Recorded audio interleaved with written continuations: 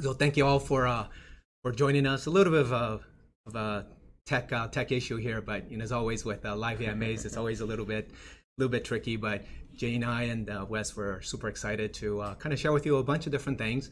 Um, some things I guess we already let the cat out of the out, out of the bag, but you know we're going to be uh, Jay's going to be doing a, a, demo of some really groundbreaking uh, research. Um, around the AI model uh, for the good part of last year. So we'll, we'll, get to that in about 10 or 15 minutes.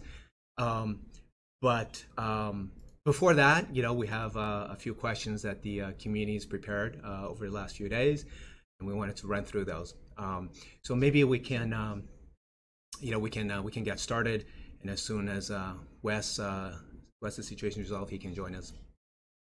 So the first question that, that we got from community member uh, is, you know, what part uh, will the Theta token play in the future of Edge Cloud? How Theta Labs look to reward users for securing the network, uh, including the new uh, Edge Cloud service. Um, yeah, so just a quick recap for everyone. As, as you know, TFUEL has been the primarily the primary utility and the gas token for the Theta um, network and the ecosystem. Uh, and of course, when we launched uh, our native chain um, back in 2019, uh, you know, we had uh, the main Theta token, which is the staking governance token.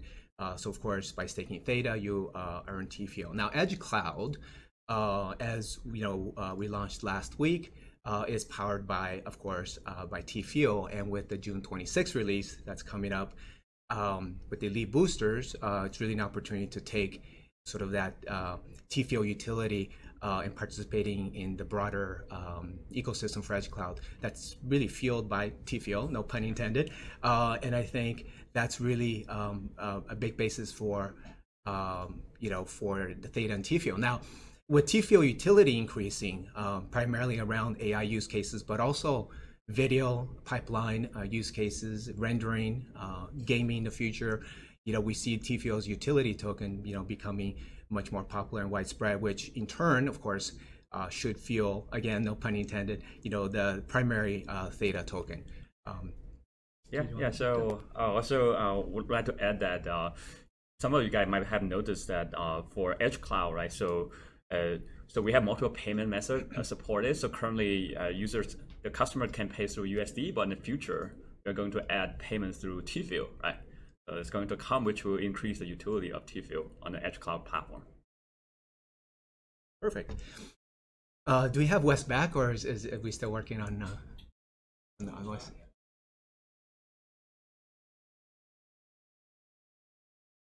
Got it. So, so uh, we'll, we'll, we'll keep uh, moving forward. Um, so the next uh, the next set of um, questions that we got from the community uh, are mobile edge nodes uh, coming soon and more information for smartphones and smart TVs? Uh, so this is, I think, it's a really great question. Um, as you know, we did announce a few weeks ago uh, in a blog post uh, that we are working on the um, Android um, uh, version of the uh, Edge node. Um, really happy to, and I'm gonna get in trouble again. We do this every single time. I'm gonna be speaking for uh, for Ryan or you know and our developers that um, the uh, that it should be launched launching next few weeks. So we're super excited. Uh, of course, that's going to be available on the Google Play Store. You can be able to download it. Uh, and uh, and what's more interesting is that uh, the initial use case uh, that we identified is really exciting. It's really utilizing AI object detection for and you know for for video clips. So so imagine um, you know one of our um, one, one of our partners, you know, has a very large user-generated uh, platform where, you know, um, people submit thousands of uh, videos a day. So being able to run that through um, this um, uh, AI model where you can essentially detect that, look, you know, this five-minute clip is about, you know, a dog on a beach, you know, versus that two-minute clip clip is about my parrot, you know, talking in Spanish, uh, or something like that. Um, and so the whole concept of object detection and understanding sort of the context of a video clip uh, is something that we're going to be launching with, uh, and it's going to be running. It's going to be running under sort of calibration mode or test mode. So we want to be cautious, uh, at least initial stage, um, that uh, we're really testing sort of the infrastructure and sort of the capabilities of the mobile device right, and the CPU and G- GPU capabilities. Um, but you know, I think the the, the important uh, point about this particular use case is that it really enables what we call sort of this ability to parallel process, which is really an ideal use case um, for a distributed network of of nodes, right? Particularly mobile devices, right, with you know tens, hundreds of millions actually billions of devices around the world.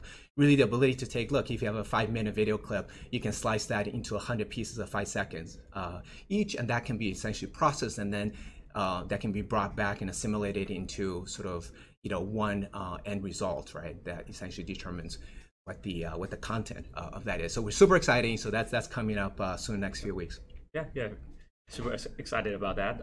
and then looking forward to the future, right? So um, I see people especially the, the cell phone manufacturers, they are uh, talking about throwing even more powerful hardware, right, uh, chips onto their cell phone in the future. For example, they may have you know some AI specific uh, ASIC, right? So ASIC chips into the cell phone, and then you, you can, as you can imagine, that they will open the door to even more potential uh, edge cloud computing opportunities, right? So your cell phone will be able to process, you know, even uh, more complex tasks, than which will enable our edge cloud to be able to reap those um, resources and more efficiently.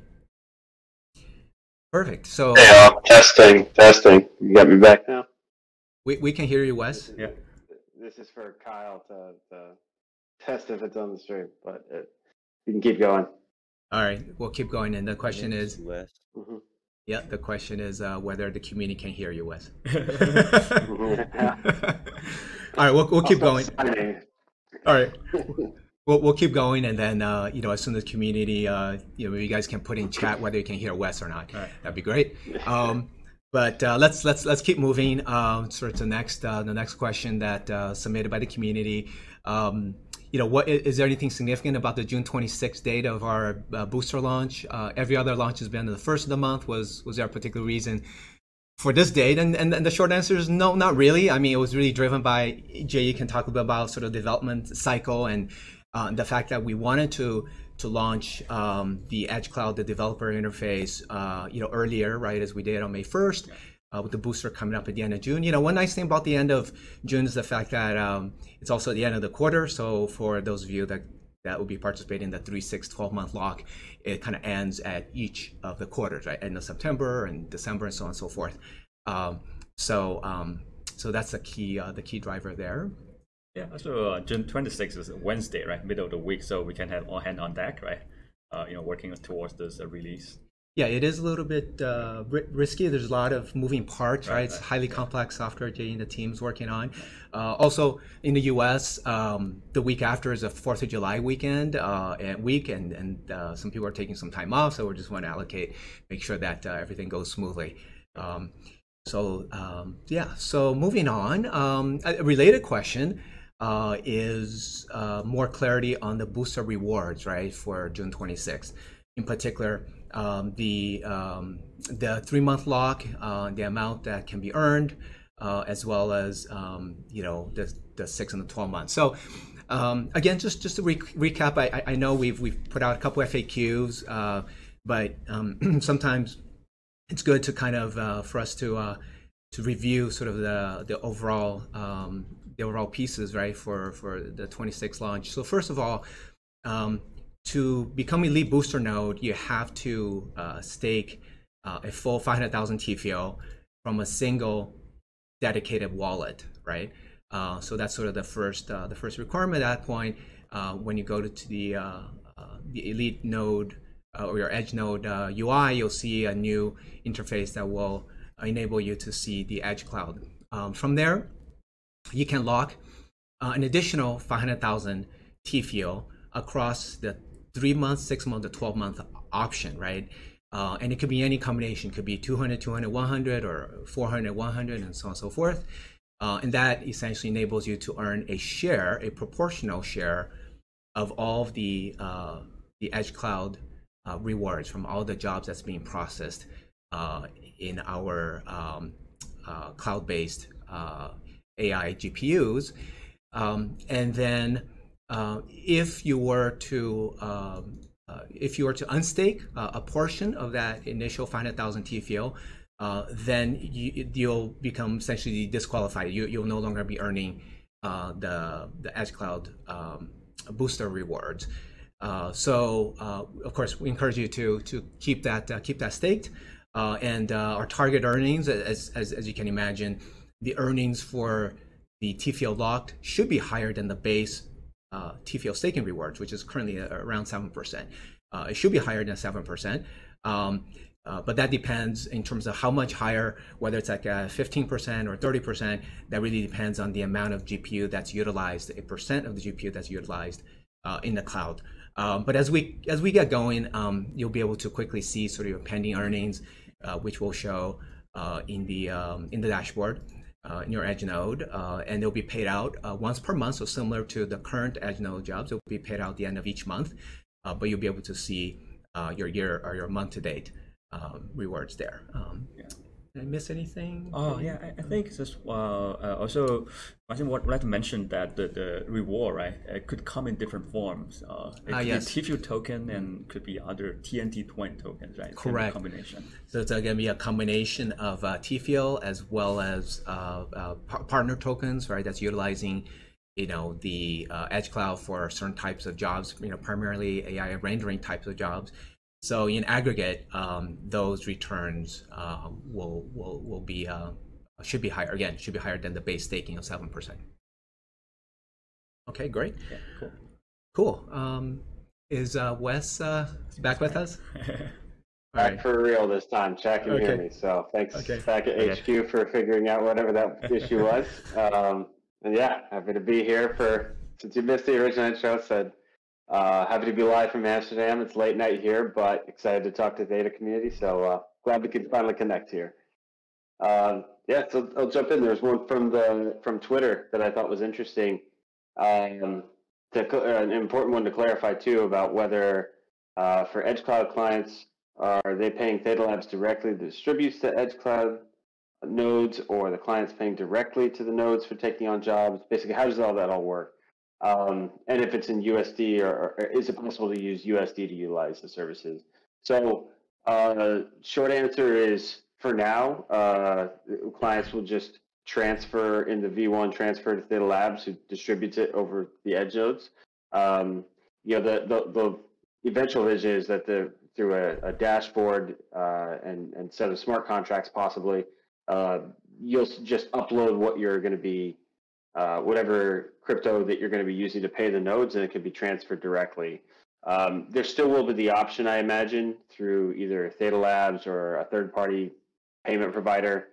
Uh, if you want to use USD and have that converted to crypto, uh, whether it's T Fuel or or or the TNT20 token, to pay Edge Cloud uh, nodes in the future, because there will be a lot of clients, no doubt. You know, some are going to be crypto native and happy to pay in T Fuel or um, you know, Lavita Replay may be wanting to pay in their own native currency to edge out operators.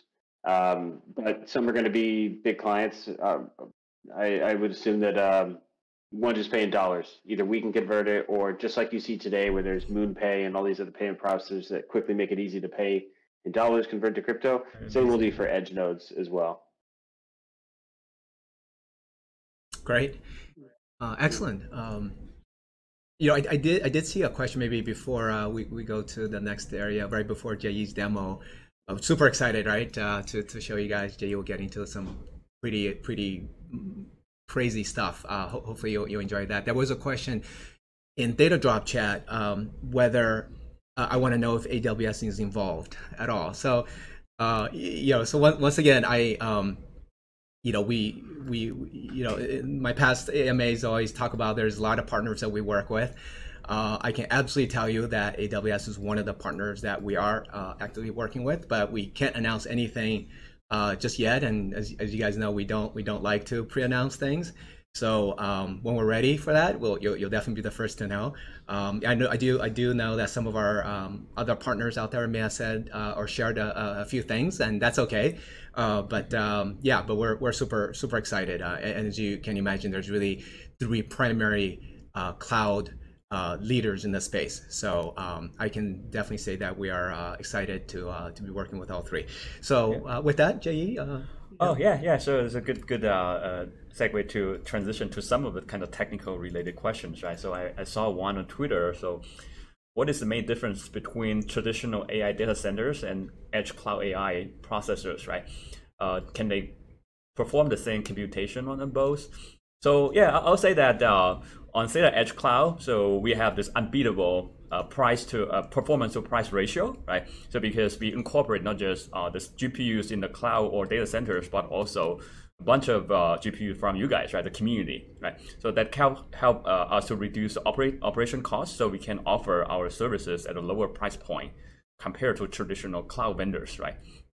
So that's the first thing. The second is that uh, I want to emphasize that the edge cloud is not just a, a bunch of cluster of GPUs, but we build uh, a, a stack of middleware software, right? And then UI UX for developers. So make it uh, developer friendly. Uh, if you can, if you guys have uh, some of the developer uh, in, in the community might know that if you want to actually run a, let's say, large language model or a uh, stable diffusion in the cloud, then you have to first go in and then you know start a VM or a cluster or something and do a bunch of uh, things, right? It take it could take you a day to set the environment up and then uh, to to get you the uh, inference endpoint to start integrate into your your app.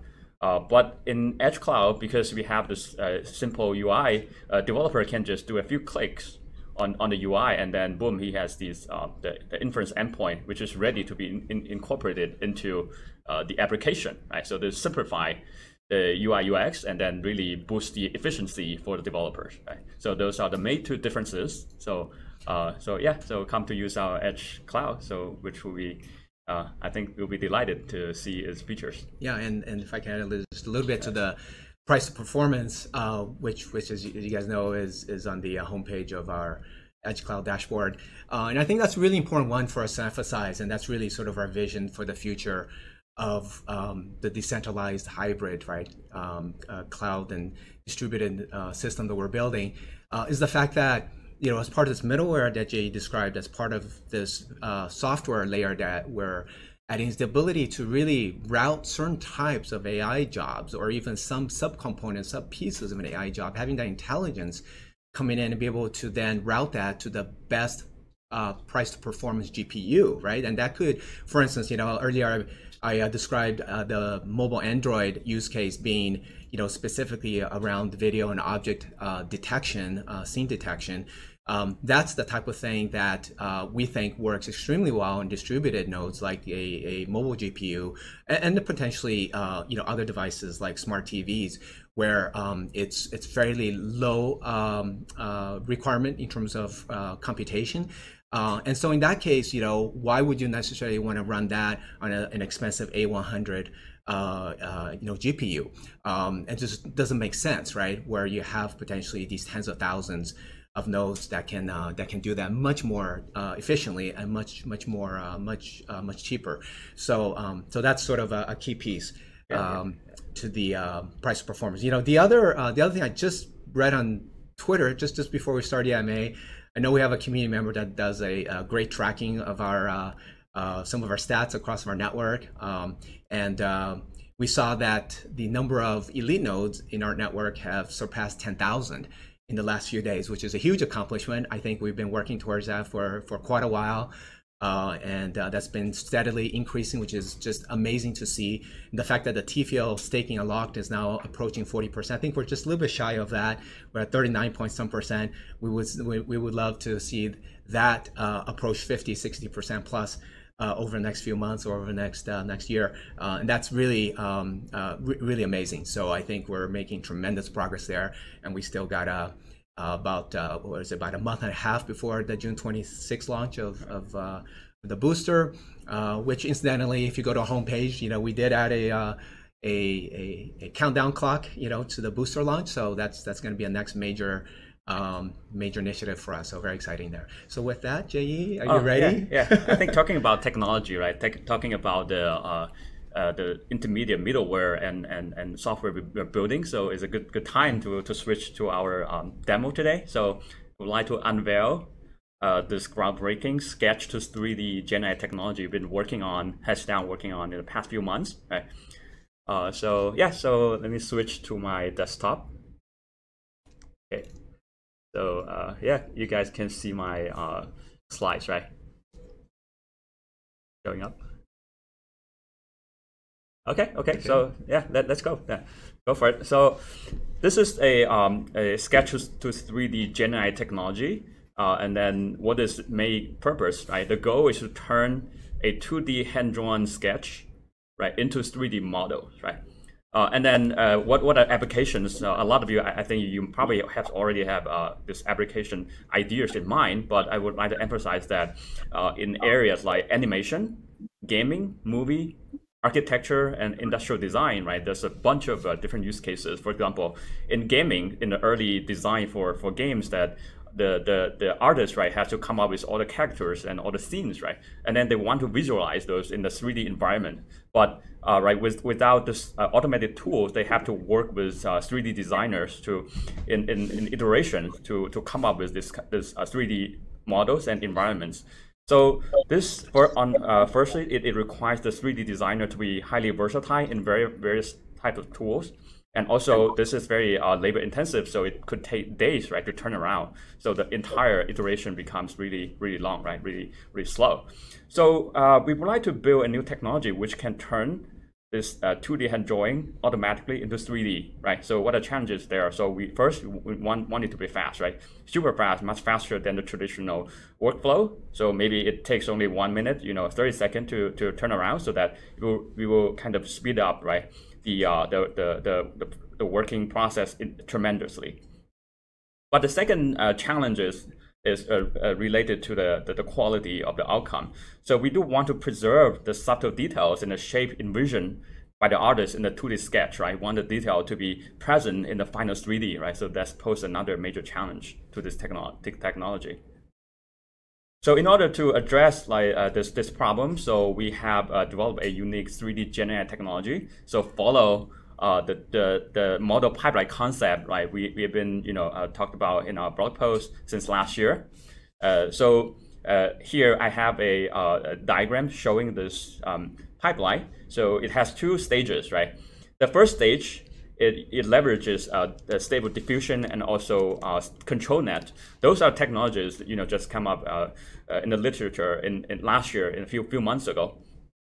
So this first stage will take uh, the sketch from the user as input. In addition, it optionally take a text prompt right, as input. So through the text prompt, you can describe uh, the sketch in a little bit more detail right? And then maybe you will you can tell that you know a certain uh, uh, aspect of the model you want it looks like animation style or like realistic style and all that, right? So all this will be uh, taken as input and and and fed into the first stage model. As you can see, there's a very complicated multi-stage, uh, multi-layer. Uh, um, uh, neural, neural network here, right? So after a few rounds of processing, so it, it uh, turns out uh, generate a 2.5D images, right, which is this 3D image uh, pro projected on a 2D plane. So after that, so once we have this image, then we need to leverage some of the very advanced uh, algorithm to extract the primary object from this generated 2D image, right, and then and reduce the background noises, right. So uh, and after that, once we have the major object, then we leverage the so-called LRM model, so which has come out of uh, Adobe and Stability AI, right? Uh, as you can see, there's multiple, stages of processing, and then after a bunch of computation, you finally come out with the 3D model here, right? So which can be uh, inputted into some 3D modeling tool, so that for the designer and the game developers, right, to visualize and then to determine what to do next. So this is the kind of high-level overview of the this technology. Uh, then uh, maybe without further ado, maybe we can go into the demo itself. Sure. Oh, or maybe if you want to add a few things here. Uh, yeah, I, you know, I think um, one of the interesting aspects here, uh, Jay is being, um, I, I, think, very uh, conservative here uh, in, in, the words, but I, this is really groundbreaking technology. I think what's really unique here, and this is uh, many, many, many years of, of effort, right, with the engineering team, um, is developing this concept of a model pipeline. Um, and if you if you really look at sort of you know real real world use cases, for instance, you know large animation, big budget films, you know coming out of Hollywood, um, where you're trying to essentially create these 3D environments and and uh, and characters, it is extremely expensive, not just because of the technology involved in the in terms of GPU processing required, but it's also the workflow. It's the fact that you have multiple teams and multiple uh, groups of people, uh, right? Different skill sets, right? The the the from the ideation phase, right? The artists that create the 2D sketches to then turning that into you know sort of initial 3D models, right? To visualize, and then you go through that loop and that cycle, you know, um, many many times before you then uh, move on to next phase, which is refinement and improvement and adding the scenes, adding the background, adding the transitions. All that is extremely uh, complex. Um, and that is what we believe, um, you know, with this concept of model pipeline, which we'll be talking about more and more, uh, as really a unique uh, area of research uh, that Jane and team has started on, and this is sort of our first uh, sort of uh, output of that, um, is really to use a model pipeline, AI model pipelines to essentially minimize and streamline um, the workflow involved uh, in real world use cases, right, where there's real people involved. Uh, so this is really, really absolutely groundbreaking. Um, you know, one other application model pipeline, which I also I guess share here, uh, which again, you know, part of the engineering, team might kill me, but we are going to be doing an update uh, to the AI showcase for our text to image, the stable diffusion, which uh, many of you have been playing with and is super exciting. Uh, we're going to be adding a model pipeline there as well, where we automatically will be uh, taking your prompt uh, and feeding that into the Llama 3 chatbot, producing an enhanced prompt, and then the associated image out of uh, the uh, stable diffusion uh, text to uh, to uh, to image. Uh, but the way we'll do that is that we'll actually put them side by side. So you'll be able to see original prompt and then you'll be able to see the enhanced prompt. And so I think this is a, a really unique way for us to then let you play with it and be able to then get even better at it and and a, a, great application again of, of model pipeline. Yeah, yeah, awesome. Okay, so without further ado, so let's switch to the second tab. So here I'm showing the Model Explorer right on uh, Edge Cloud. So if you, you have uh, uh, visited this Edge Cloud this morning, you might notice that we have added a new model, right? So we just Sketch to 3D. Uh, this is uh, developed by Theta, so we have our Theta logo here. Uh, to launch it, you know, very easy. Just click on it and then just keep the default option here, and then just click on create the new deployment here.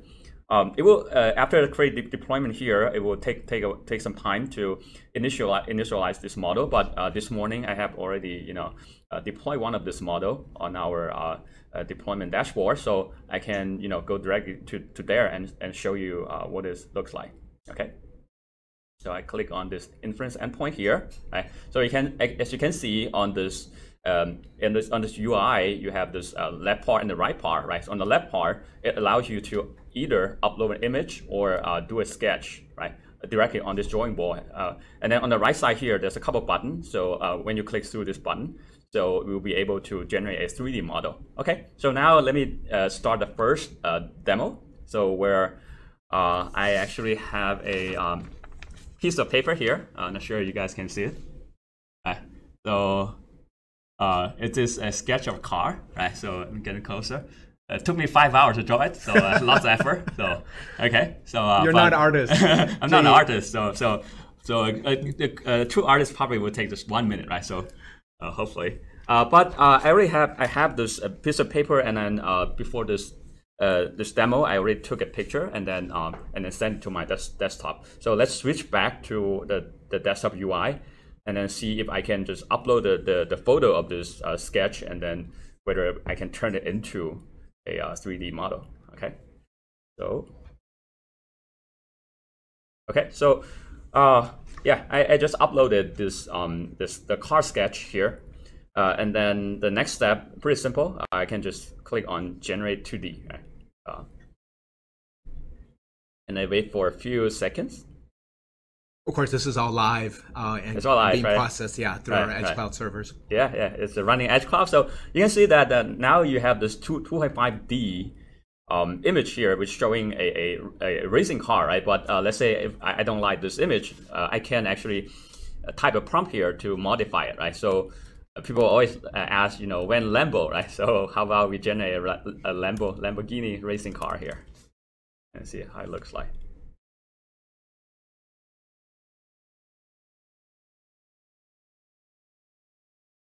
Okay, so this is nice. maybe I, I, feel it's better looking.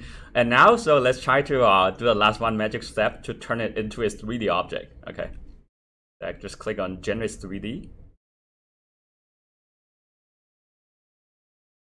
Okay, so for those who ask when Lambo is, Lambo's here.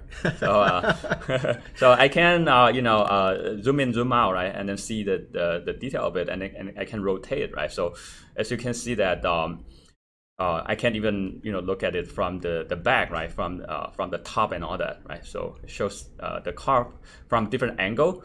I'll admit that you know uh, in the current shape of form, the res resolution is a bit low, right? So uh, there's a lot of details not translated into this 3D object. But uh, you know, two years ago, people say the same for Stable Diffusion and um, and Midjourney, right?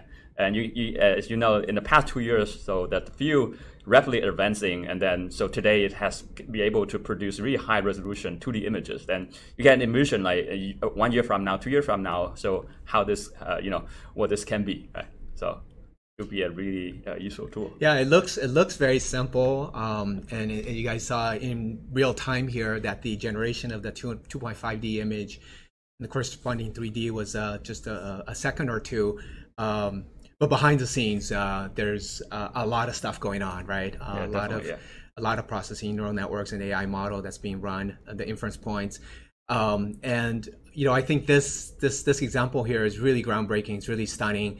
Um, the fact that this could really, uh, at the very least, um, really impact the early stages of ideation and content creation um, you know, modeling, animation, right? Uh, as I mentioned, within the media entertainment space, uh, within the gaming space, right? Anytime you're developing uh, a, a, game and a particular scene or characters, be able to draw that out and be able to visualize that, you know, within a few minutes is incredible. Uh, this alone could, you know, shortcut.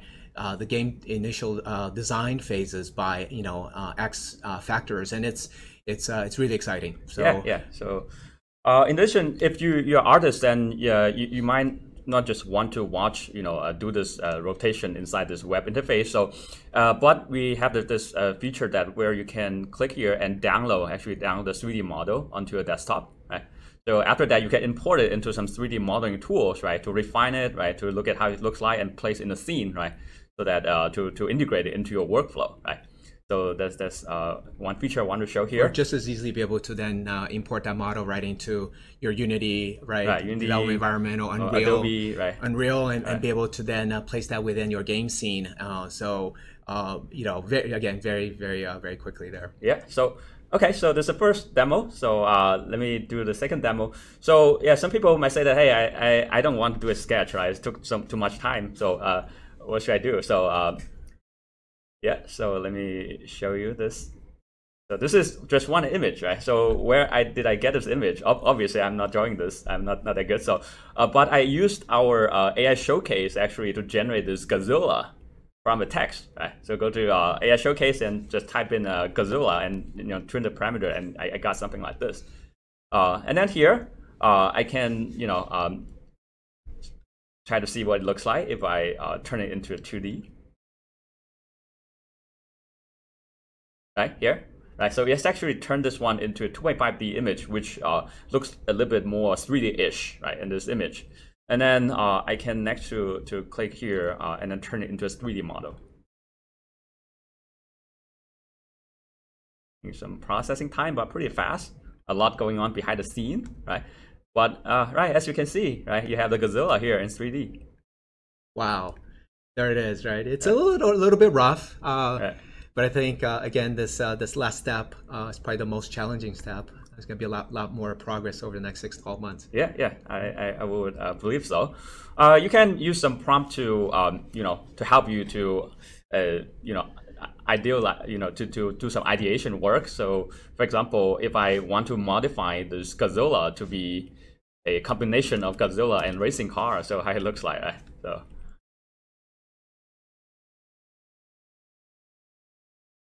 Okay, it looks something like a blend blending between a uh, Godzilla and a racer driver or a racing car. So, uh, and then uh, you can ob obviously uh, click once more to turn it into a uh, a 3D model. So this is pretty useful because uh, sometimes when I imagine that for a game designer, that sometimes you have to come up with a new character, and then uh, you can obviously use your imagination to do that, but sometimes the AI can be helpful, right, to uh, help you to create something you know never existed before. Right? So this is uh, quite interesting feature as well. Uh, and then and then and then lastly, so if you don't want to draw at all, you know, I don't want to, you know, uh, prepare an image at all. What what can I do? I, I can directly type in the prompt here. Uh, for example, uh, I'll just do a uh, a fighter jet. See how it looks like.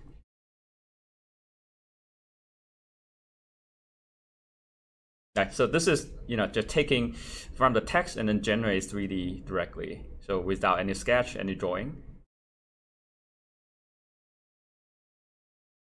Okay.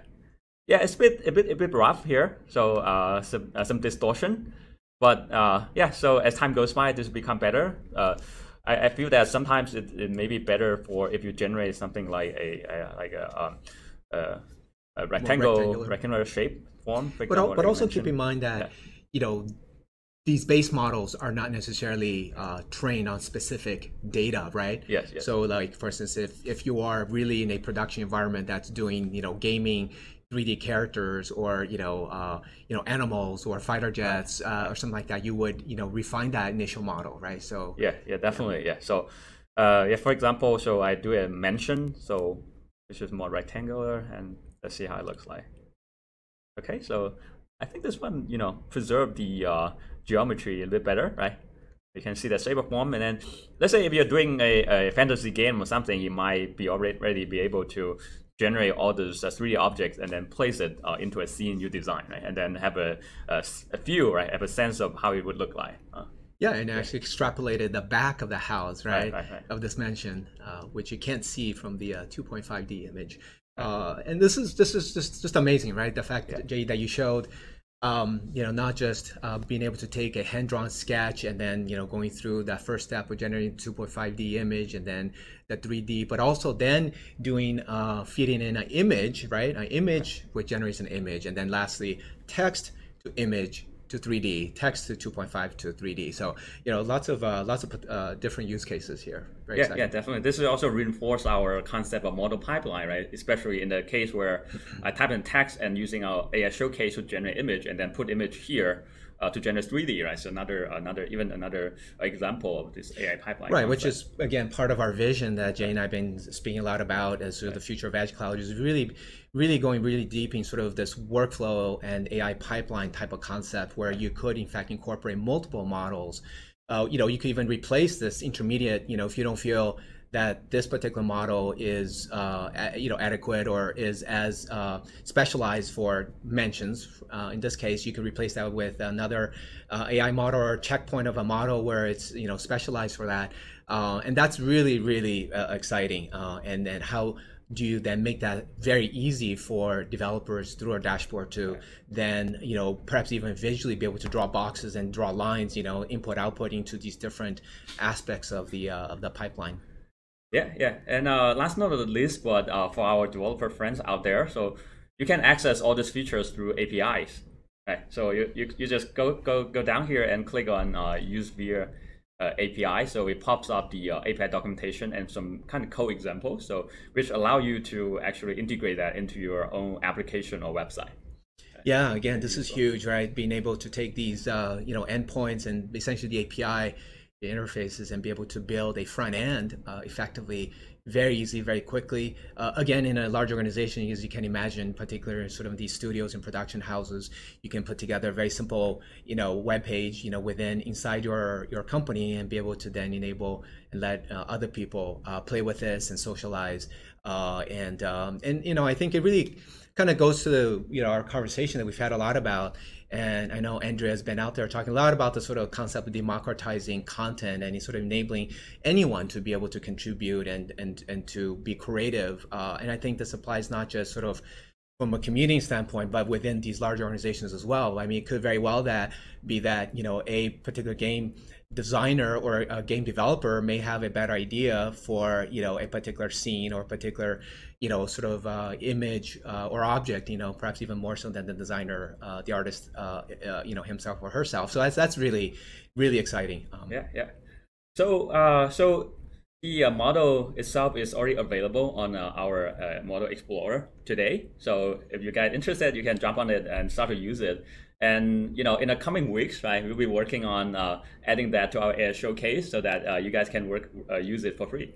Oh yeah. yeah, yeah, we definitely got that on the on the showcase. showcase yeah. So you guys can uh, then uh, do videos of yourselves, you know, drawing a piece of paper and yeah. scanning that into uh, you know into in, into the uh, showcase. Yep. Cool. Awesome. Awesome. I think this is the the demo today. Exciting. Great. Yeah.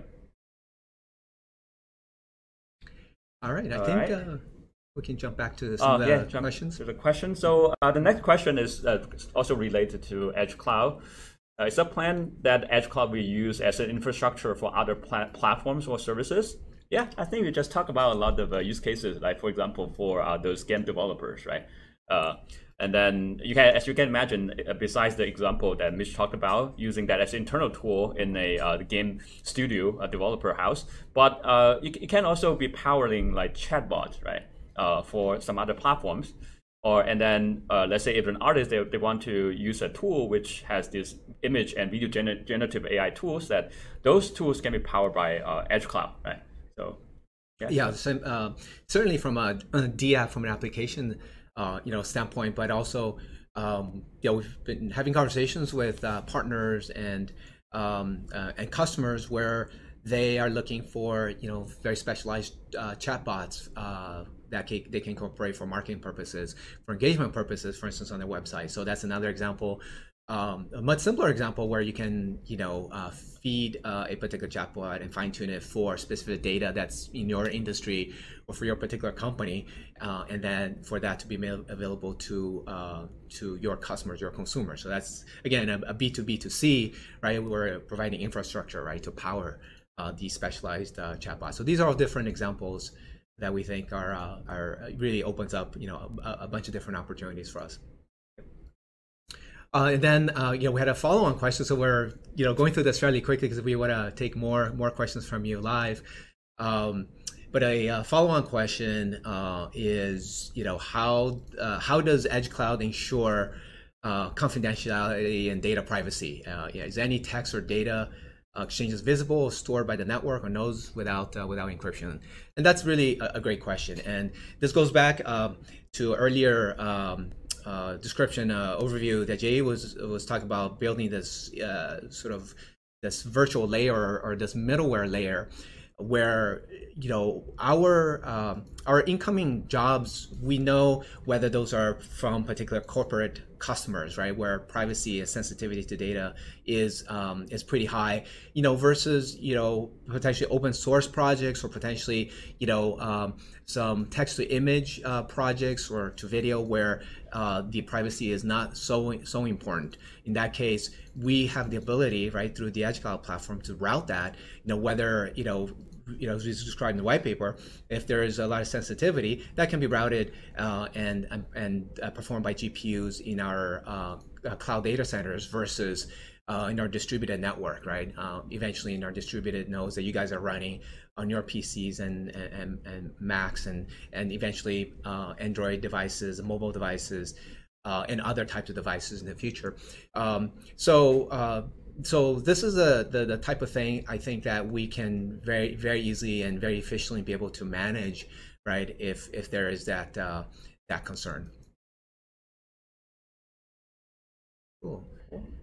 Should we uh, go to a break? Uh, go go to uh, the live chat that we have on ThetaDrop and see if there's some questions that we want to take. Uh, yeah, let's. Uh, you guys uh, start adding your questions if you want. Don't hear you. Am I? Uh, we mic's on. You guys can't hear me? Uh, oh, yes. Uh, I, I hold on. I'll, uh, you can? Oh, I can hear it. You guys all right, can hear me all right? continue then. yeah. Um, yeah, you guys start throwing questions in the chat, uh, and we'll also scroll up. I saw a lot of people, I think, other questions too, so maybe we can find some good stuff to kick things off. Um, let's see. So, uh, so it's interoperable with 3D printers. That, that's quite an interesting question. I mean, maybe not out of the box, but uh, I think that would be, yeah, in the future. Yeah. Think about it. You could go sketch to to model and just you know adjust the model as needed, change your prompts, and once you're happy with the model, one click to send it to the 3D printer. It's yeah, actually, that, that that's an interesting idea, right? So I, I think the uh, the model we generated, the, the output format is pretty generic, so that potentially can be imported into existing tools, right? And then from there, you can do your modification and you can do your right uh, change the model a little bit and then put it into actual 3D, right? So we'd like to see if we can actually have something like concrete, right, from your idea to uh, something real in the in, in life. Yeah.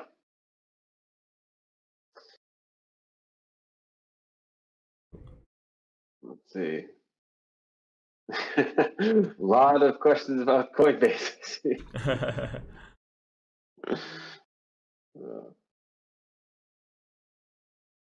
yeah, I mean, we, uh, well, I'll let you guys chime in if you want, but I mean, the, the shorter answer is we, uh, we, we speak with these guys we know fairly well, and we, we um, if there's something we, we can announce, we will, but we don't like to uh, step out of turn with you know potential partners, and, and can't really say much until we're allowed to say it. So it's not really telling you a whole lot, but all this to say is we we love to have something announced, and when we're allowed to say things publicly, we will. I also saw one question about uh, you know uh, Elite Elite Booster on June 26th, uh, are we going to see increased uh, jobs right on uh, Booster? So the concept is a slight different. So because um, it, uh, the, the edge cloud currently running those containerized jobs right in, in, in the GPU machines right, not necessarily uh, on the uh, on the user computer yet right. In the future, we'll extend to that, so that the the the, the the way we reward a user be slightly different. So we will change the, we'll update the UI. So uh, then if you download a new version of the Edge node, you will see the UI which shows, you know, for example, you know, your accumulated earning for Elite Booster, right? Uh, pending earning for, for this month, right? It will keep in- increasing until at the end of the month it will be pay off, right? It will be uh, reset to zero and start recurring again for next month. And then we also add a few other uh, UI changes so that you can see more kind of statistics, right, about uh, what's going on in the Edge cloud. Sophie users ask about uh, T-drop use cases. So that's actually what we saw on Twitter too that we wanted to address. Um, if you hadn't seen, we're excited to see that that Open Theta is integrating T-drop soon. They in their last white paper that they released a few weeks ago, they're adding it as an incentive. Um, basically, if you you have T-drop, then you can stake it alongside their own native token they're creating. Um, and that gives you voting rights on how Open Theta operates for various things, and also I think access to certain drops as well. So um, that's really exciting. We're talking to some other platforms as well to uh, have T-Drop almost serve like a the liquidity mining or incentive token for uh, any type of exchange platform. It doesn't just have to be Theta Drop, uh, the platform Theta Drop. And so um, that's something that I've been working on and talking to several platforms about basically like allocating T drop and giving that same flywheel to encourage users to to to trade or to use their platform, whatever it is with the use case for different platforms. But yeah, long way of saying we are working on expanding use cases for T drop for sure. Yeah, uh, I also saw this question. Does the, the Edge uh, Elite Booster reward right goes goes back to the original staking wallet, or it is uh, to the uh, Elite Edge node itself? So I think our current design is that the, the reward will go back to the wallet you stake your TFUEL from, right? You, you stake your TFUEL and lock your TFUEL from the staking wallet, then you will receive a reward uh, in that in that wallet.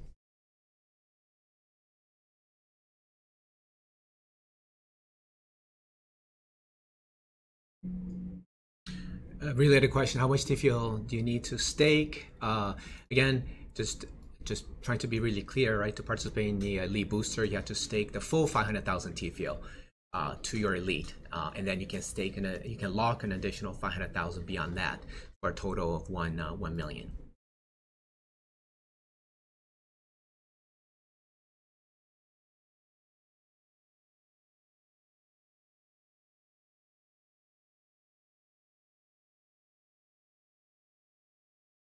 Great, great. Shall we go back? Yeah, should we go back to some of the questions submitted uh, beforehand?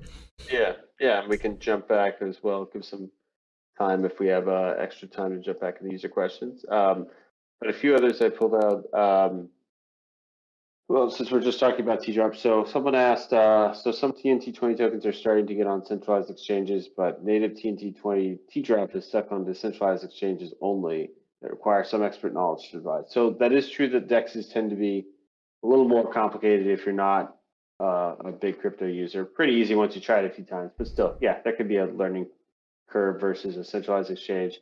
T-Drop is actually on Gate and Bithumb. Um, Bithumb only for Korean users, but Gate accessible pretty much anywhere. Might possibly not the U.S. Um, but uh, and we are, we are talking to other exchanges about uh, TNT20 access as well. You may have noticed a few listed on other centralized exchanges like Bexy recently. That always makes it very easy to list additional TNT20 tokens because then there's no technical integration really. It's just um, it's a pretty quick leap uh, from there. So that's great. Every time you see a TNT20 token um, on a new centralized exchange, it means it's much easier for more to come after that. So that's great to see. Um, we are also working on some upgrades for ThetaSwap to improve liquidity. Basically, on the back end, some of the code is based on now there's been more innovation in how liquidity providers can provide to automated market maker dexes like like ThetaSwap or Uniswap or many you're probably familiar with. Um, we can do more to make it uh, for a given amount of liquidity. It will provide uh, given amount of assets in the liquidity pool, provide more liquidity and less slippage for any any amount of trade. So really improve the user experience and um, and and your trade execution. So that's going to help on the deck side, but on the if you want to stick to centralized exchanges, those are going to be getting better and better now that you see more TNT20 tokens coming there. Good. I think we'll have another question Theta Drop. Again, it's related to the June 26 booster.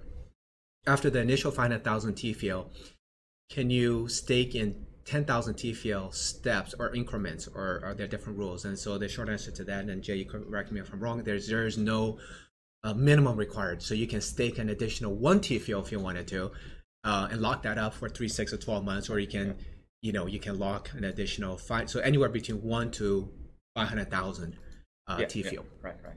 Uh, and then the locking will be managed by a smart contract, right? So you're not sending the tissue to us, but uh, it will be on chain, everything. Correct. So there'll be a smart contract on chain that you can um, you can monitor at any point in time, and the smart contract itself will enforce the the locking mechanism. So when it becomes unlocked, then just like um, other forms of staking, there is a cooldown period, uh, which depends. It's a certain number of blocks, um, but probably within a few days. Yeah. Cool. So uh, I saw the next one is a technical question. Uh, is there an optimal NVIDIA driver, right? Uh, and does it even matter? So uh, for that, I think the, the simple answer is that we're always trying to install. We always uh, recommend to install the latest version of the drivers, right? And then uh, and then with a CUDA enable, right? So that we'll prepare the machine for, for us to run those uh, uh job that will potentially need to utilize the, the GPU processing power. Yep. Oh, that's good. Next question. So, can the team tell more about the specs right, of the edge node. How about, for example, how uh, the GPU, the RAM size, you know, uh, the hard drive space for edge node, for example. Yeah, I think so. As I uh, alluded to earlier, so uh, community node will be our focus for phase three, right? Which which will come hopefully in a few months, right? Uh, later in the year or uh, coming into next year. So uh, by by then, as we get closer, we will release the um, the exact spec, right? On our main page, our documentation page, then and then you can uh, you know get the exact spec from from there. You get closer.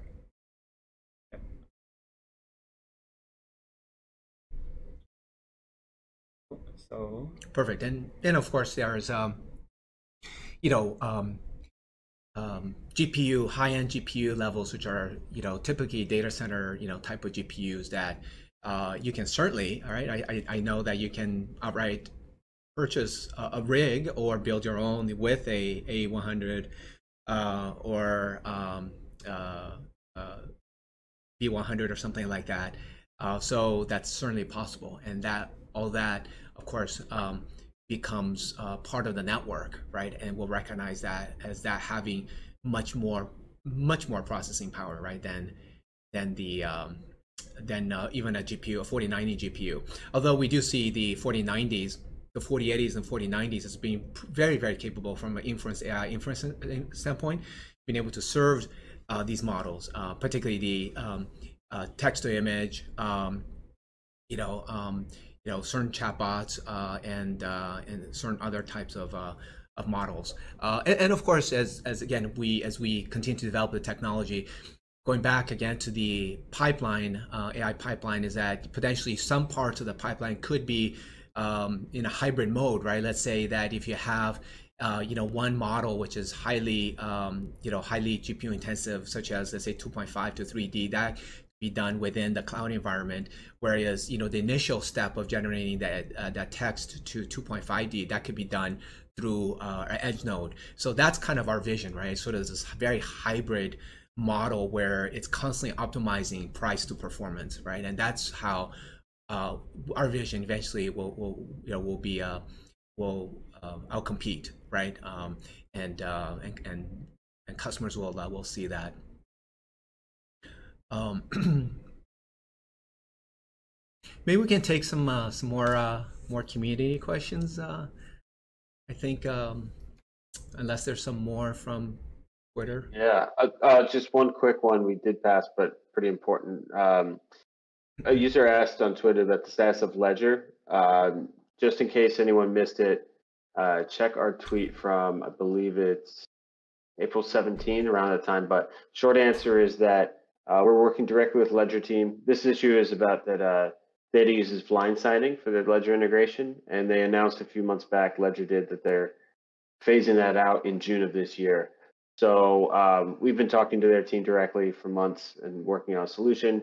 Turns out, in the end, they will not actually phase out blind signing immediately in June. So it's not going to change anything how you access uh, on Theta Web Wallet with a Ledger for now. And um, we're collaborating with them on a, a a, a new version entirely that's going to make it uh, a better user experience, and, and we're hoping to have that out in fall. But they assured us that uh, there won't be any time where Theta users lose access to Theta assets on the ledger. So we they, they have it under control. Perfect. Another community question on Theta Drop. Oh, someone is asking whether these are my spelling bee uh, awards that I got uh, you know, up on the wall here. I wish, you know, when I was back in school, I was sucked pretty bad in spelling. So, um, no, those those those are actually uh, our patents. Right. I, I, don't know right. if if you guys can see that, um, but uh, yeah, I think it kind of kind of spans beyond this edge over here. So we still have. Right. Another three three more walls around us that yeah. we can. As uh, we continue, so uh, hopefully we can fill this conference room right with patterns. So so we don't sure. need a painter or something. We don't need to decorate our room. So there you go. Just with all the patents. There you go. Um, again, like like like we've always said in the past, you know, these patterns are just very strategic for us from the standpoint of uh, of working and you know collaborating with some of these strategic uh, partners. Um, it really underlies a lot of the technical capabilities, right? It's almost like a checkbox. Oh, you guys know what you're talking about from a technical standpoint, um, and then you have uh, the protection, right? Uh, in, um, in in developing something that's uh, that's unique. And also related to that, uh, today you tweeted about a very technical white paper which was submitted and, and uh, right it was it got accepted, accepted by a, a, top tier conference i, I emphasize that uh, the conference is a uh, kind of premier forum right for the researcher for uh, future direction of the world wide web right uh, so you know historically there's a lot of uh, very important research finding was published uh, on this conference. In particular, the uh, the PageRank algorithm, which by uh, Larry Page and uh, Sergey Brin, the Google founders, right? So uh, they originally published their paper on on this pa- uh, on this conference back in 1999, right? So it's like 25 years ago, right? Which lays down the foundation for um, for uh, Google search engine, right? So yeah, so we're pretty honored to be able to get accepted into this conference. I think uh, you know one of the students uh, in Professor Xiao's lab is actually currently uh, in Singapore, right, attending this conference and doing present- presentation there. So as we continue, then we will uh, you know uh, push a bound, continue to push a boundary. In AI, in Web3, in blockchain, right, and then do even deeper research, right, to build, you know, our, you know, our, our core technology, our, you know, tech stack here, right. Mm-hmm yeah, very important for us from R and D perspective. But as you guys have probably already seen, you know, we, you know, we've always sort of come from um, the the industry, and we're really, uh, really, really good at uh, taking these uh, very forward-facing um, R and D projects and uh, bringing them to market, um, and you know, putting a go-to-market plan in place. So they, that's what uh, our plan continues. Yeah, so this uh, three uh, Sketchless 3D is an example, right? So yeah, to my knowledge, it's, it's probably the, the first uh, this such kind of uh, demo or uh, you know showcase in the world. So I, I, haven't seen similar things elsewhere from the sketch to uh, the 3D. Yeah, and, and hopefully you know, we'll, we'll, we'll get that up on the AI showcase uh, next uh, next few weeks, and then you guys can all play with that as well. So very very exciting. Yep.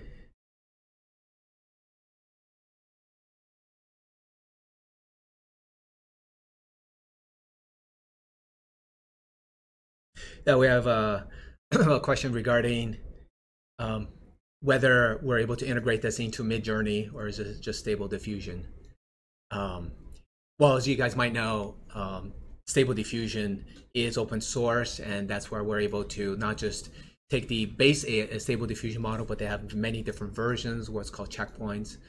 Our snapshots to Stable Diffusion, we're able to incorporate that into the Edge Cloud. Midjourney is a proprietary model. Um, so they control everything. They they run it on, on their end, uh, and um, you know whatever uh, you know whatever prompts or whatever it is you submit, they that that goes to their servers, right? Um, so um, the short answer is that they're not open source, but that doesn't necessarily mean that uh, they're not a potential uh, potential partner.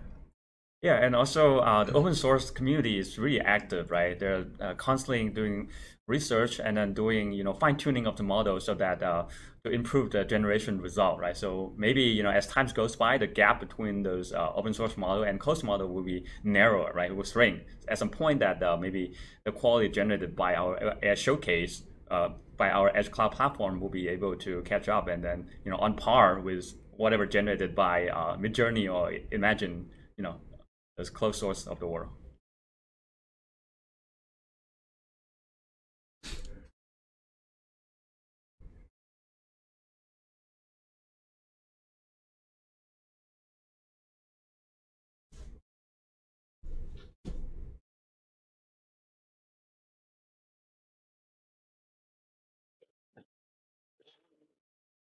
Wes, who's your favorite guitarist? I'll just answer that quickly. Uh, um, probably for nostalgia reasons, Kirk Hammett growing up. That's kind of where I first, first learned a few uh, riffs and licks. So, got to go with that.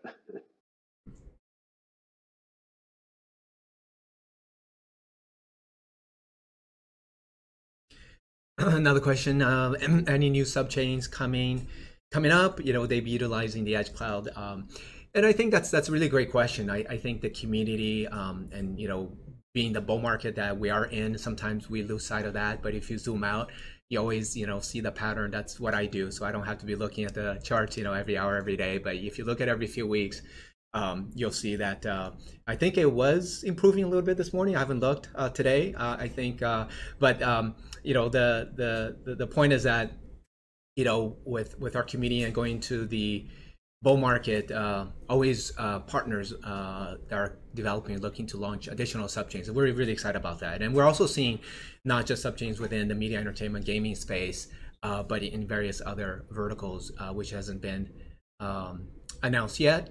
Um, in all cases edge cloud is a big part of that equation. I think that's one of the things that really uh, separates and differentiates us from other um, you know layer one chains out there is the fact that um, not only do you have the the building blocks and infrastructure to build your own um, token and your crypto uh, ecosystem, uh, but also uh, the uh, utility part, right? Being able to u- utilize our edge cloud and utilize our uh, video infrastructure and our AI infrastructure, rendering infrastructure for uh, their business. And I think that's where um, really becomes a, a really strong win-win for for us. You guys rock, yeah. Love you guys too. yeah, we definitely need to do this AMA. It's been too long. I know the last one we did was at ThetaCon. Um, and uh, hopefully we'll, we'll, we'll do this a little bit uh, a little bit more often. Um, although there is um, just a reminder, there is a ThetaCon Europe uh, coming up in Prague, which I will be there in June. So, so for those of you those of you that's on the fence, you know, come on out. Let's uh, let's grab a drink. Uh, let's talk, uh, and of course I'll be at in Vegas at the end of the year as well. Um, and probably with uh, most of the team, right? Because it's, it's really just around the corner for us. Looking forward to meeting you guys there. Yeah, yeah. For those of you who uh, have uh, attended ThetaCons before, if you don't know Resorts World, this is an amazing venue in Vegas. It's the newest casino on the strip and, and probably the best one. Um, so yeah, get your tickets. It's going to be definitely the best ThetaCon yet. Well, that's a question. Will JE make it to the first ThetaCon in person? Ooh. Oh, yeah. That's yeah. going to be a surprise, huh? You're going to parachute in uh, one of these times? wow, wow. I wish I yeah, I'll, I'll, try try to see you know uh, uh, if I can make it this this, this time. Uh, you know, really looking forward to see you know the you know the community in person, right? Uh, discussing what's the next step. You know, uh, what you can build on Edge Cloud and all that. Perfect. JE will definitely have four bodyguards around them because without JE, we wouldn't uh, we wouldn't have much much here.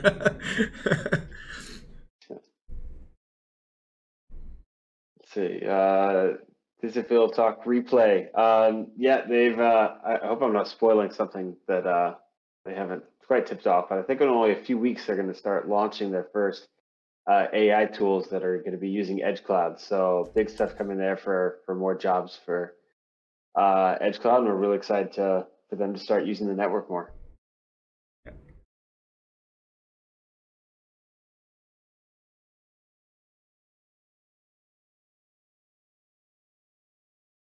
Flame T-Fuel as rare as GPUs. Well, I mean, depending on relative to the supply, it's possible T-Fuel is in even, even more demand. I don't know. It, it all depends on how many people uh, uh, need to use Edge Cloud and have to pay Edge node providers. So yeah, it's all about adding more on the demand side and get building out these these awesome tooling that that JE and Co make because that's going to increase demand for the network and, and drive demand for for the native token. Yeah, for sure. The utilization, the usage of our platform, right, for those partners and customers that want to be paying Edge Cloud with TFuel. Um, you know, as I mentioned also at the beginning of the MA, you know, it's just really amazing to see our elite node surpassing 10,000. Um, at any given time, I think we're around 12,000 active nodes. And then in aggregate, over a course of a month, we're seeing somewhere now approaching 30,000 edge nodes, which are on and off, right? So those are unique nodes over the course of a month. And those are really major milestones for us. Uh, very exciting. The fact that the amount of TFUEL staked and locked is approaching 40%. Um, as that number, which I'm sure will continue to, to go up um, uh, over the next few months as we approach 50, 60%. Uh, you know, unfortunately, unfortunately, however you look at that, it becomes a little bit more rare for our customer partners to then be have to acquire that in the open market uh, to pay for the product or services. Um, so you know on, on that part, of course, um, you know we're gonna have to you know look at the pricing of our services relative to, um, and you know oh, eventually we do want to price have a pricing model where it's much more advantageous much more beneficial for a customer to pay in TFUEL over fiat currency. In fact we would love nothing but to have our uh, uh, fiat or us dollar you know striping you know driving 0% of all of all the uh, of all the sales. We want everything to be flowing through TFUEL so we're going to give uh, a benefit for customers to uh, uh, to do that yeah, yeah. So also I would like to also challenge our uh, developers in our community, right, to to build your application on top of uh, Edge Cloud. So if your your your application gets popular and attract user, then inevitably that you'll be you need more GPUs, right, in, in Edge Cloud. They will drive the payment, uh, especially drive the payment in TFuel, right. So this will increase the utility of TFuel, right. So this will will make uh, TFuel become even more rarer. So.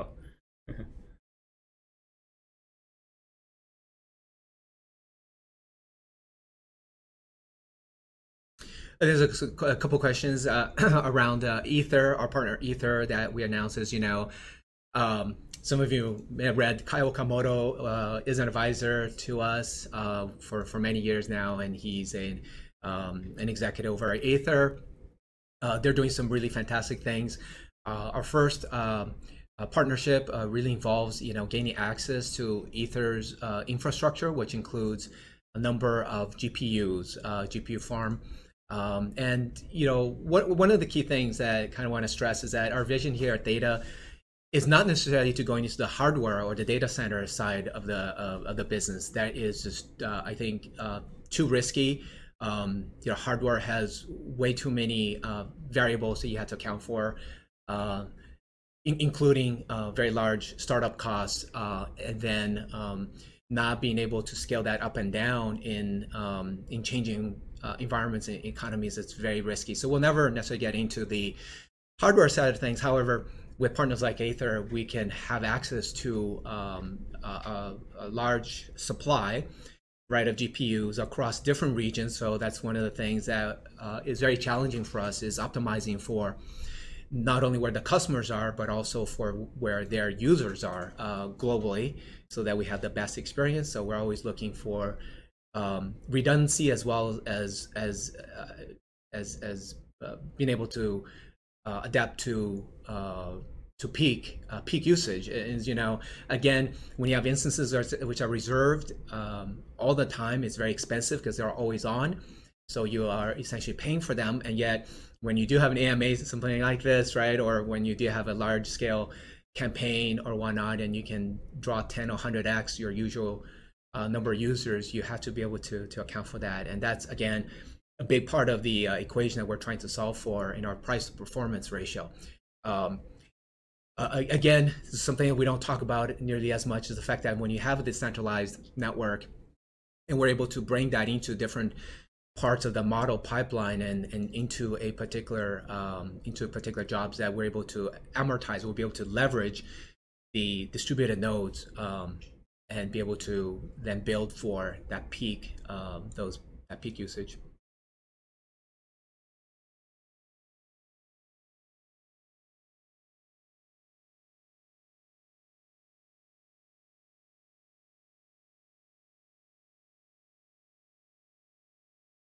So I have a, guess another question on um, the Elite Booster. What's your estimation for CPU GPU usage um, the white paper says 80 to 100%. I believe the white paper or the FAQ, or a combination of both, uh, says uh, it's very important. There's a word if, right? If the um, GPUs are utilized 80 to 100%, then um, then you should be able to see uh, the APY uh, approaching anywhere between um, 14 to 28% or uh, something in that range.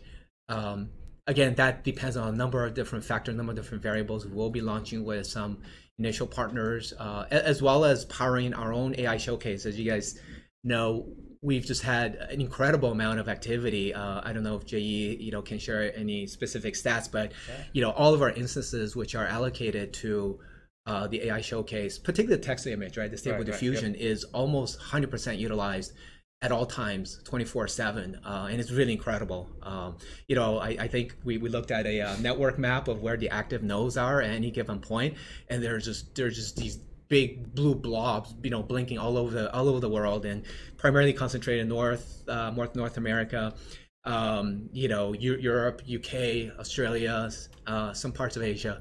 Um, but it's it's it's it's really something yeah, yeah, yeah. So yeah, try try uh, to use our AI showcase, right? It will as the more you use it, then uh, the more utilization it is, right? And then potentially that uh, whoever you know. You don't want to tell people that. Come on. Next thing you know, uh, the whole community is going to be using our showcase all the time, and then yeah. uh, and then all the uh, lead boosters are going to yeah. be. Uh...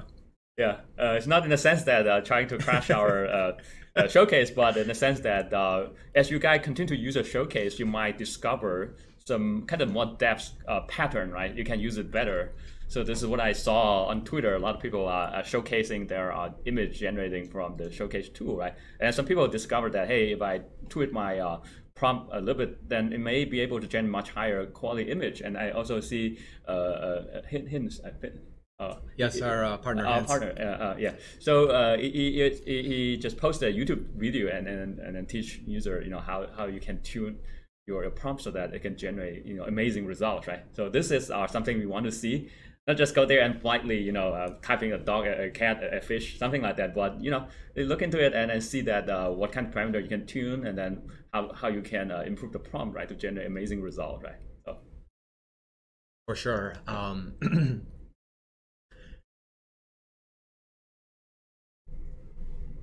I think there's a question around uh, edge caching jobs which is part of the uh, the Edge node today. Um, so the Edge caching and the caching functionality has now been folded into what was previously known as the Theta Video API, which is now part of Edge Cloud Video, right? So anyone using the our video infrastructure, right, for uh, for live stream or VOD, right, as part of Edge Cloud Video now, um, if you implement the Theta um, the Theta uh, player, which has the the peer to peer the caching then occurs between the peers, uh, and that will be folded into that.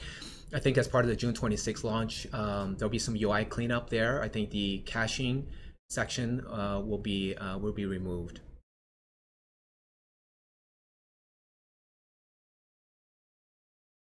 Uh, so so one, uh, one one comment here, you guys should share it on Twitter, right? This uh, 2D to 3D uh, model demo. So yeah, yeah. I, I think that uh, we'll, we'll uh, there will be a couple of things we will we'll share. Uh, one is one blog post, right, which will document the um, you know what actually the technology behind the scene, right? What actually when you click all those buttons, so what model are being used, and then what computation are you know going on on the GPUs, right? We'll have that, and hopefully we'll have a recording of the demo session, so which we'll share on Twitter, right, so that uh, you guys can can watch it if you're interested. We'll post on YouTube, and uh, this this more technical blog that we're preparing we'll we'll, we'll push that out tomorrow hopefully so yeah. we got a little bit of work after this AMA right, right, yeah. but we'll kind of put everything uh, that we demoed today into uh, into a blog that can be easily shared um, and um, yeah and hopefully uh, y'all can help uh, spread the word there yep.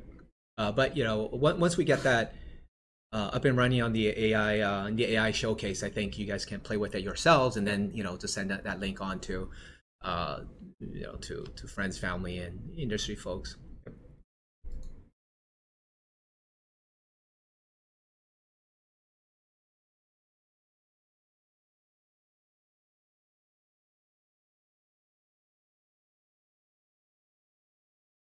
Any other questions you see there, uh, Wes, coming from uh, Twitter or anyone else, uh, anywhere else?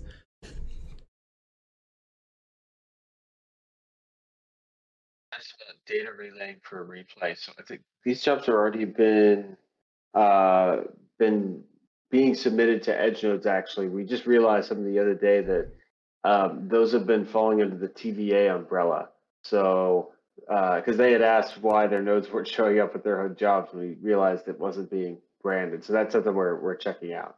Um, but yeah, I think it's important because uh, we, have talked about this a little bit, but you know, our, our vision eventually is for edge node operators to be able to um, have more control over which jobs that they're doing, almost like a marketplace where you're being bid for the, your your uh, service you're providing to the network, um, and that's going to be especially important when you see uh, they may pay in T fuel, they may pay in uh, other TNT twenty tokens. You may want one or the other, or not want to do certain jobs. So um, that'll be important to have transparency about what the jobs are that's coming to your node, and then you'll be able to um, pick and choose which you're, you know, willing to provide your capacity to the network for. Uh, so I saw a few folks asking about the Edge Store, right? So yeah, I think that uh, yeah, so uh, we should provide an update here, uh, as mentioned in our white paper, right? So uh, Edge Store in in the context of Edge Compute, uh, Edge Edge Cloud would probably take a different shape of form compared to original the original KV store, right? So, for example, uh, when you run those uh, inference job for those uh, large models, and for example, Stable Diffusion and others, you have to download those model, which is a gigabyte size, right? Six, seven gigabytes, right? So they will, this will need to utilize some of the storage on, you know, the user's computer, on a cloud computer. And then those will be accounted for in, in our final calculation about the reward, right? So you get a, a piece of reward for uh, the compute, but also get a, a, a, piece for the, the storage, right? So this is will be the um, kind of the new, new new format for the Edge store. Correct. So this is part of the the last phase, the right. we describe as a phase right. three, where we begin to integrate the edge network right into the overall architecture. So when you run your own node, um, hypothetically, say for instance, you know, if you're running a text to video AI model because you have a 4090, or maybe you have something even more powerful than that. Um, turns out that these text to video AI models are extremely large. Uh, what would you say is the size of some of these models? Yeah, it could be six, seven gigabytes, or even larger, right, in the future, uh, you know, depending right. on right. So gigabytes, uh, and again, like with something like Stable Diffusion, I've I've seen um, in uh, GitHub and open source uh, forums where there are many, many different versions of Stable Diffusion. I think there are at least dozens, if not hundreds and hundreds of different checkpoints and variations. And so when all those are effectively stored locally, and when your edge node is uh, then issued a job to uh, to uh, you know process, right, to serve uh, uh, as inference, right, for a particular uh, for a particular version of Stable Diffusion, it would then load up that Stable Diffusion on your local GPU right into memory right from disk. But the fact that you know those models have to be residing on disk uh, in you know uh, before that right a priori so that you have uh, an efficient way of serving that up uh, on a real-time basis. And so if if you are if each of these stable diffusion is somewhere between 5 and 10 gigabytes uh, you can imagine when you have 100 variations of this uh, and that's just that's just text to image right and and again you know, Edge Cloud is an open platform where we're going to be supporting um, all sorts of uh, different types of AI models, right? Um, as as, uh, as we all seen, even real-time interactions now that's been announced by everyone from OpenAI to Google, uh, you know, uh, voice to voice, text to voice, you know, voice to text, you know, real time, um, you know, all that becomes uh, a lot of data, um, and that's a really big part of um, our vision there.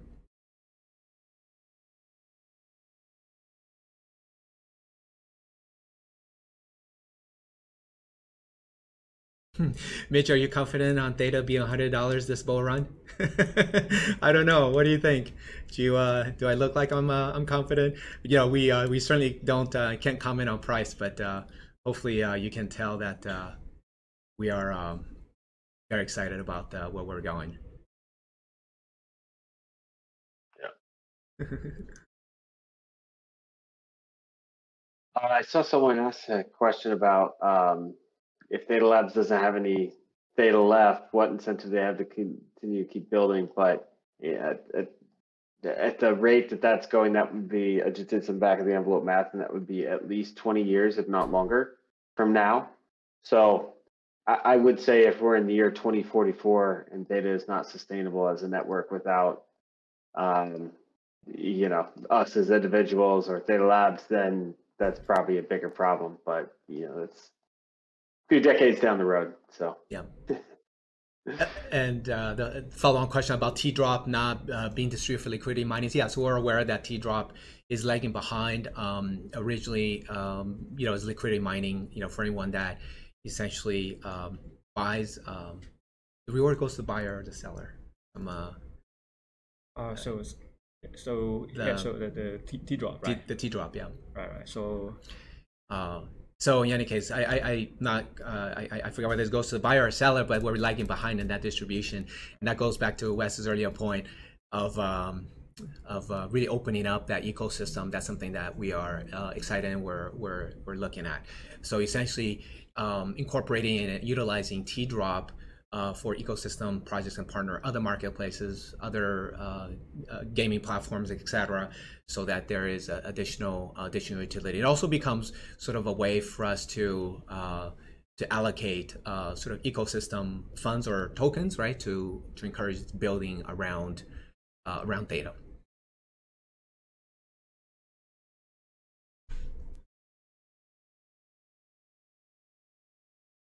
There you go. Theta will be a thousand dollars. I mean, that's exactly why I didn't want to answer the earlier question because I knew it wasn't going to be a hundred.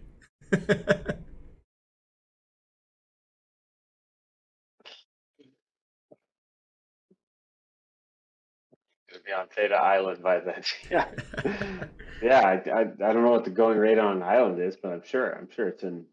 The, if you add up the whole community, I'm sure it's in our price range. Yeah.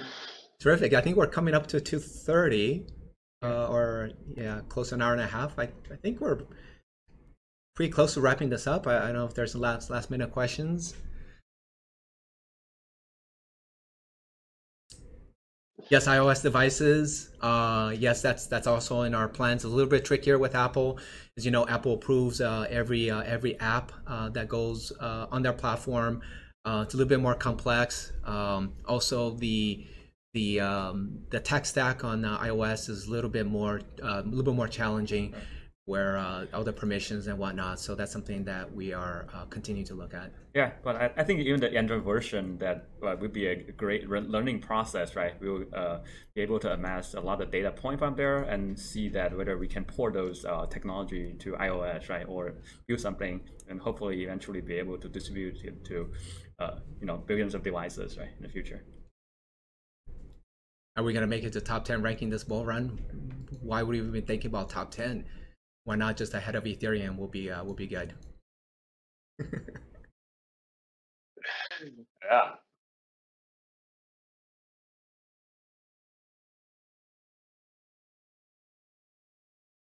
All right. Should we uh, should we wrap it up, uh, Wes? I think it's been uh, it's been great. Yeah, this is great. Always good to spend time with the community and talk with you guys directly. Um, hopefully, we'll be seeing a bunch of you guys in in June in Prague, and um, yeah, we'll, we'll have to do this again soon.